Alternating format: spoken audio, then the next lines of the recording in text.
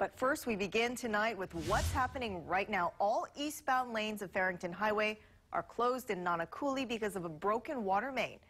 Take a look. Sent so much water onto the road earlier, it looked like a waterfall. Now, traffic tonight is a mess. This is a live picture. These are the cars that are heading toward the Waianae coast near Honokai Hale. Again, the left side of your screen where there are no cars. In fact, now all of a sudden we're seeing cars. But that's heading into town, and we were told those lanes were shut down. So obviously, it's a very fluid, no pun intended, situation. Uh, we're told those eastbound lanes on the left side of your screen heading to town shut down. Maybe a couple cars crept on, but again, traffic is a mess. No word yet on when things are going to be fixed. One viewer said from Kapolei to Nanakuli, which is about maybe a 15, 20 minute drive, says it took him an hour.